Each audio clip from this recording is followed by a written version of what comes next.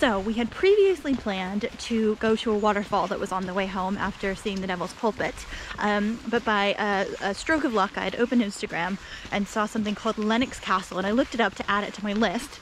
Um, and we were like 10 minutes away from it. So we decided to go, and it's a bit hard to find. Um, you have to park in a housing estate and then take this kind of unmarked trail. So we're following some instructions I found on TripAdvisor um, and we'll see how it goes. This is like an old abandoned castle um, that used to be a mental hospital. So it looks pretty impressive just to kind of have a little wander around. So yeah, let's go see if we can find it.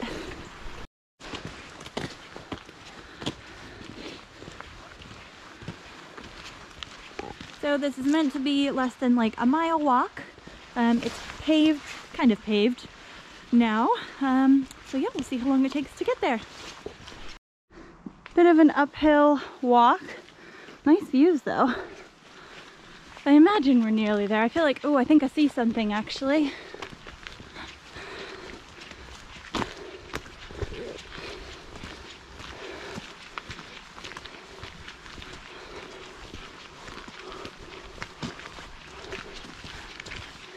Oh, here we go. Oops, someone's been up here with a horse.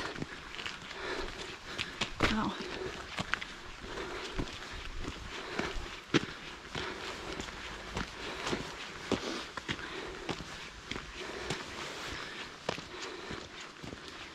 crazy because it's one of those things like unless you knew it was here, you wouldn't really like you'd be kind of surprised to stumble upon this, I think. It's a decent rig. Yeah.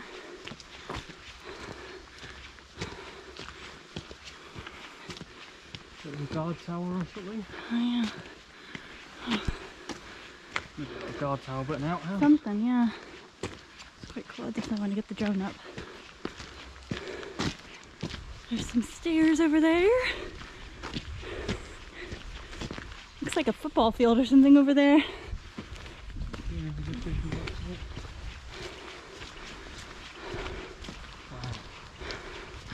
That is.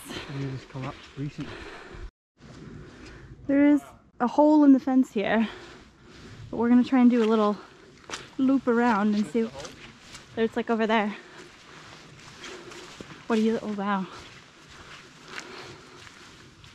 Want me to leave you with the drone? Yeah, let me... Let's do a loop first, though, because there's people over there. Lennox Castle is located in Scotland about 12 miles north of Glasgow. Although originally it was built around 1840 as a castle, its claim to fame is actually the hosting of Lennox Castle Hospital, which is known as Scotland's largest institution for people with learning disabilities. The castle was purchased in 1927 by the Glasgow Corporation and opened as a hospital, if it can even be called that, in 1936. The castle itself is big, but it's not massive, and it's certainly way too small for 1,200 live in patients plus live in staff, and up to 1,600 patients at some points. The hospital was underfunded and appears to be the stuff of nightmares. Between the 40s and the 60s, there was also a maternity unit in Lennox Castle. Now, in 2002, the hospital closed, and in 2008, a fire brought most of it down. Today, the grounds that surround it have been converted into Celtic FC's training grounds, and it's surrounded by a forest and housing estates. You can see this whole thing is just absolutely crumbling. I think when you look at other Scottish castles that have been abandoned, they they're they're clearly abandoned, but this is just in disrepair to to an impressive extent. Jack found this kind of hole in the ground, and there's a ladder that goes down here, and there's just a bunch of water in the bottom. But I have no idea what that little thing could be because it's got kind of a weird cover. So if you've got any ideas, leave them below. There's me taking some pictures people were actually climbing up this. Um, yeah, you can see them right there actually, but the whole thing is just like one wrong step away from falling down, and especially with it getting dark, I am not keen to poke around in here after sunset. You can tell the kids do though. I mean, there's graffiti everywhere and trash and like Four Loco and Dragon Soop cans. it is crazy to think that this held like up to 1600 people at some points. It's just, it's clearly, it's big, but I wouldn't even consider it Downton Abbey big. Especially when you think about the space and you, there's, you know, a kitchen probably and bathroom facility, so like not even actual living spaces. It is quite a sight, though. I bet it was pretty majestic in its day, although super intimidating coming up to it.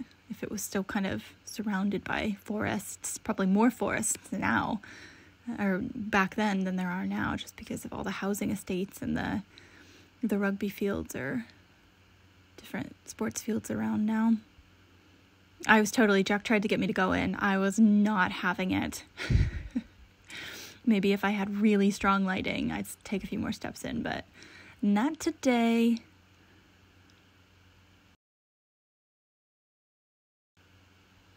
It's crazy to think that it didn't close all that long ago as well, like 2002.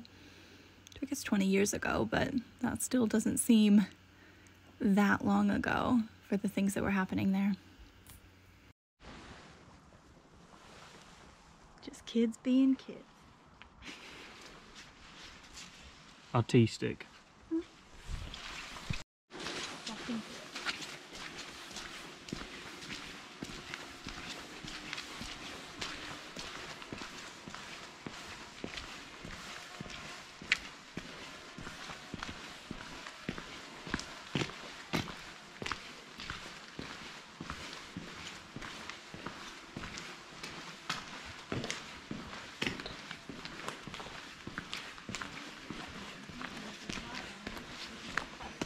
Well guys, that's it for Devil's Pulpit and Lennox Castle. Thanks for exploring with us and make sure to like and subscribe for the next of our Scotland adventures. See you soon!